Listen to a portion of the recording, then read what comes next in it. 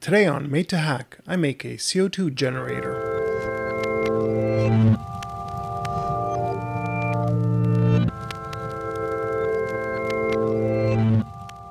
I recently needed some CO2 for another project, but noticed at the last moment that my fire extinguisher was empty.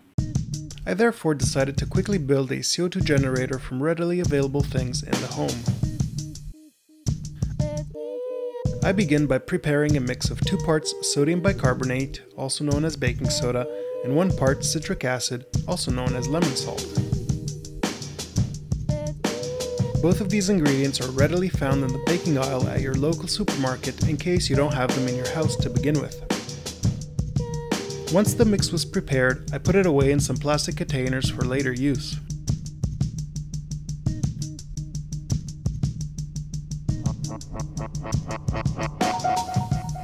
You can see how fizzy the mixture is when mixed with water and activated. I then began building one of the two CO2 generators I made. The first one consists of PVC piping of approximately 40 millimeters in diameter together with an end plug and a screw-on top plug. I drilled a 6mm hole in the end plug so that I could insert some plastic tubing.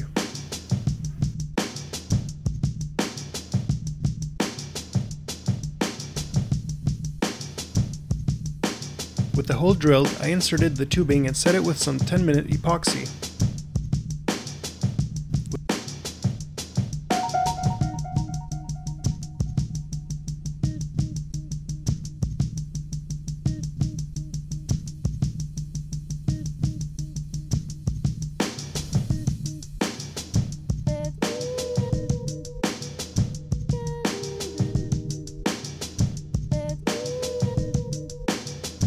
With the tube quickly set, I proceeded to fill the area surrounding the tubing with a more liquid plastic epoxy which sets overnight.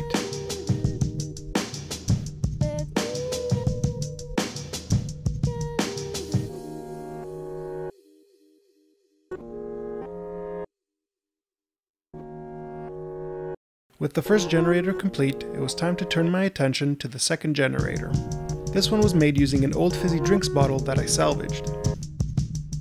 If you want to make this type of generator, make sure to use a bottle which held a fizzy drink and not just a regular bottle of water or juice. It needs to be able to maintain some pressure. With a 4mm hole drilled into the cap, I inserted some aquarium silicone tubing which has a valve attached to one end. I also filled the surrounding area with a liquid epoxy mixture and set it overnight. After 24 hours, I began assembling both generators, beginning with the PVC pipe.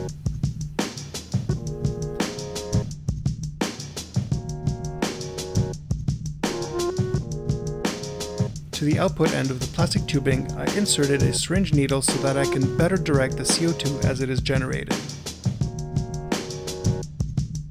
By the way, if you premix your sodium bicarbonate with citric acid, make sure to store them in a dry environment, not like I did. Otherwise, you may get some premature fizzing. Luckily, the mix still worked and I managed to test it.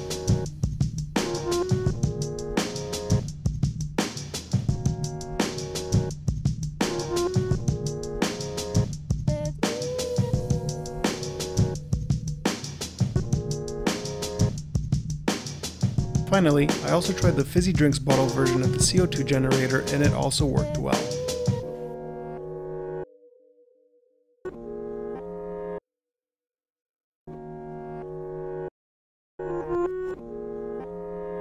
Hey, thanks for watching. If you like what you saw, go ahead and hit that like button and consider subscribing.